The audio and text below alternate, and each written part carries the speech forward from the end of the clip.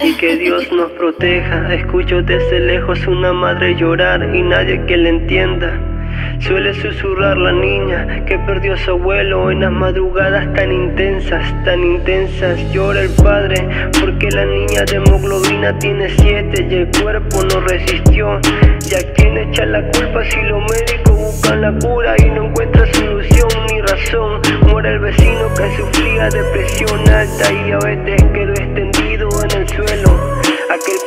de aquel amigo que tanto humo solía inhalar no resistió y el oxígeno se le tenía que agotar. Duele ver la realidad y mil historias que duelen al contar. Y el sobrino que tomó la decisión tía no lo podía ni creer que en la carta que decía cuídense y que miedo tenía de contagiarlos y que era lo mejor el bien de su familia y la abuela que es una adulta mayor y el tío que tenía sobre el corazón y que no creo que yo resista. Y es por eso que optó esa solución. Y cómo uno puede hacer cómo superar o ver morir a los suyos no poder ni siquiera despedirnos.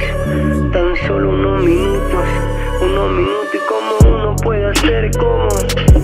Superar o ver morir a los suyos. No poder ni despedirnos. Ni siquiera unos minutos